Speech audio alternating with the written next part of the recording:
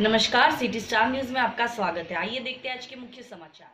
सरिया गिरिडीह सरिया प्रखंड पोटमा निवासी कोल्हा मोहतो का घर बारिश होने के कारण मिट्टी का घर धस जाने से रहने के लिए कोई व्यवस्था नहीं है, जो कि बारिश में बाहर में रहने को मजबूर है। सरिया से इमाम अख्तर की एक रिपोर्ट।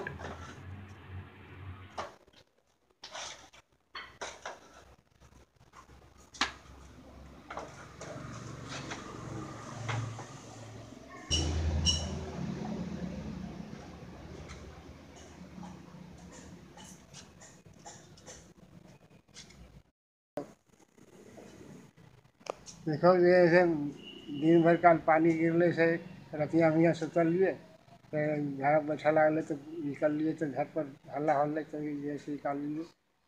खाए के कुछ न थे, अब कहाँ रहबे, कहाँ सब रोडवा के किनारे ही सब एकदम सब झाड़ा संसद गिर गल अब की खेबे की रहबे, कुछ सरकार जैसे कुछ दे दे।